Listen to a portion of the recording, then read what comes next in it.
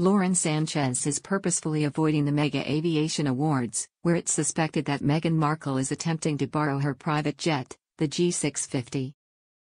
Sanchez, a prominent figure in both the media and aviation industries, is slated to receive the prestigious Elling Halvorson Vertical Flight Hall of Fame Award at the 21st Annual Living Legends of Aviation Awards. This recognition solidifies her position as a trailblazer in the industry, being the founder of Black Ops Aviation, the first female-owned aerial film and production company.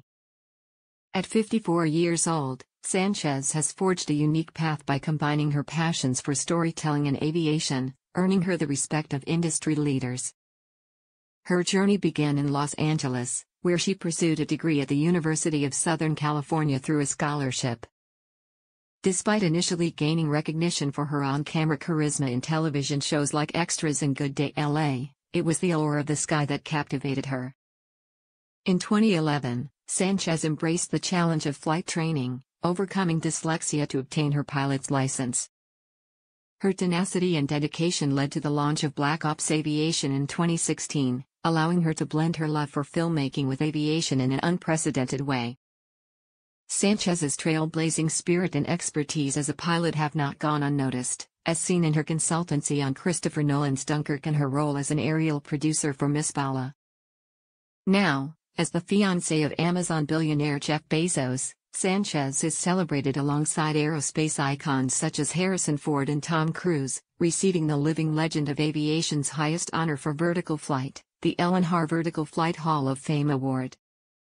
Acting Executive Director of the Living Legends of Aviation, Stacy Ullner, describes Sanchez as a role model and true inspiration for women in aviation. She will be inducted at a gala in Beverly Hills, California, hosted by John Travolta, alongside Fred George, Steve Hinton, and Prince Harry. The speculation about Meghan Markle's interest in Sanchez's private jet adds a layer of intrigue to the event, with suggestions that Meghan is using the occasion to network and possibly secure Bezos's attention. The timing of the award, coinciding with Harry and Meghan's desire to engage with influential figures, adds an element of humor and speculation to the situation. Meanwhile, Prince Harry has become powerless as Meghan Markle's mother, Doria Ragland, is set to move into their Montecito home. Royal biographer Angela Levin said Harry, the Duke of Sussex, would be outnumbered in his own home if reports of Doria moving in with them turned out to be true. Speaking with GB News on how comfortable Meghan Markle would be if Doria comes to live with the couple, Levin also said it would not be good on Harry's part. He's two against one, Levin said of Prince Harry, adding, he's been outnumbered since he met Meghan and her mother. He's given in, he walks behind them, she added. He has no power. You don't feel that he's making decisions, the decisions come from Meghan. Levin continued, Harry has shrunk in every single way.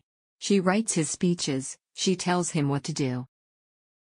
Pushing him here and there, moving him to different places like you might do to a child.